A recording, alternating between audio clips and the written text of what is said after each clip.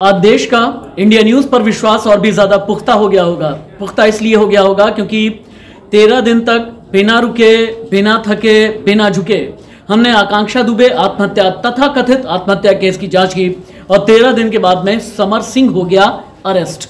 नमस्ते, मैं राशिद। सबसे पहले आप खबर जान लीजिए।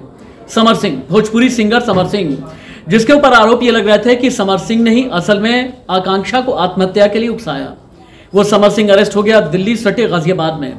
गाजियाबाद में जहाँ पर कई हाई राइज सोसाइटी है, यानी राजनगर एक्सटेंशन की एक बहुत बड़ी सोसाइटी में छिपा बैठा हुआ था समर सिंह।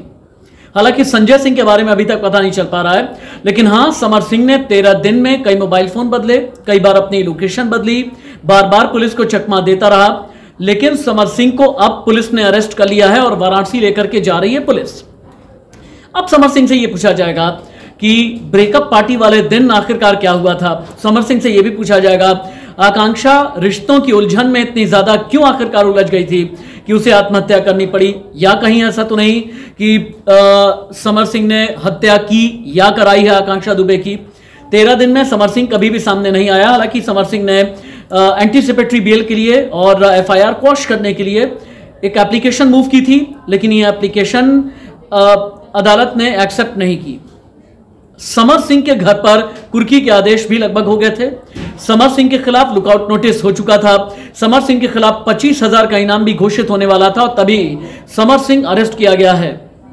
समर सिंह ने गाजियाबाद में अलग अलग जगह अपना ठिकाना बदला। खबर यह भी आ रही है कि एक नहीं, बल्कि तेरह दिन में कई मोबाइल फ़ोन का इस्तेमाल किया। कई मोबाइल फ़ोन है जो गोरखपुर में है, कई मोबाइल फ़ोन आजमगढ़ में है। आजमगढ़, गोरखपुर, बलिया, देवरिया, वाराणसी, मऊ, गाजियाबाद, हर जगह भदोही।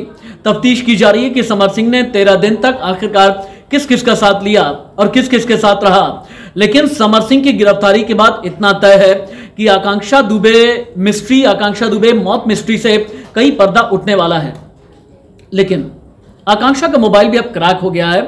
खबर इस तरह की भी है कि आकांक्षा के मोबाइल में कई वीडियोस मिले हैं, कई स्टिल फ़ोटोज़ मिले हैं, जिसकी वजह से समर सिंह के लिए आगे परेशानियाँ और भी ज़्यादा बढ़ जाएँगी।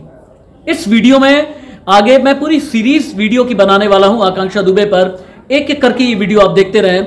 ये पहला वीडियो है जिसमें मुझे ऐसा लगा कि मैं आपको जानकारी दूँ कि आज की सबसे बड़ी खबर क्या है।